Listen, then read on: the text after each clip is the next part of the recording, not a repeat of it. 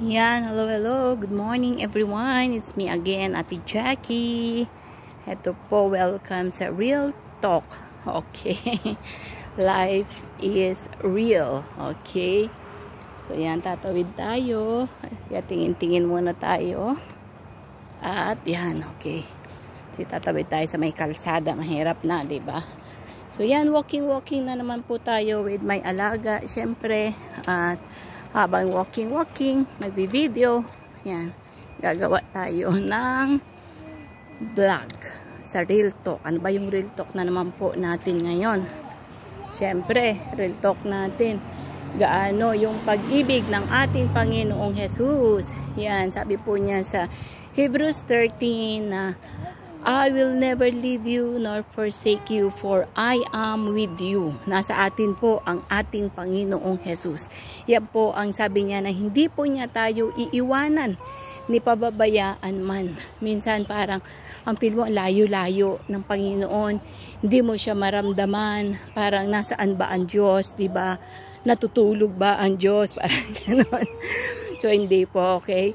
Lagi pong nandyan ang Panginoon. Tayo po yung minsan na malayo, yung feel natin na malayo siya kasi maaring naramdaman natin na tayo yung umiiwas o tayo yung nagpapalayo sa ating Panginoon.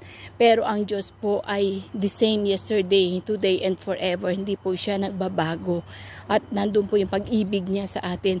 Lagi po siyang nandyan, mahal na mahal niya tayo. At lagi siyang nakaantabay sa atin. Yun lamang po tayo yun talagang minsan na malayo. Kaya lagi po nating isik yung ating mga puso, lagi po tayong goon sa Kanya kasi mahal na mahal po niya tayo. So yun po yung may share ko sa atin ngayon na hindi po tayo iiwanan ni pabayaan ng ating Panginoong Jesus. Kaya nga po, sabi niya kung nasaan ako, ay doon din kayo, 'di ba, sa kalangitan nung pumunta siya sa sa heaven at soon darating po siya upang kunin din po niya tayo, kanyang mga anak kasi mahal na mahal po niya tayo. 'Di ba? Ang sarap noon, 'di ba? Hinanda niya yung mga uh, mansion, yung place for us kasi soon will come at sasama niya na po tayo. Ang sarap noon, 'di ba?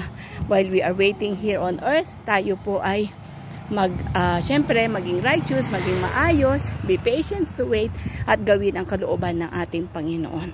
So, muli-muli po, shalom, shalom. God bless you all. Just follow me, click, and share. Bye for now.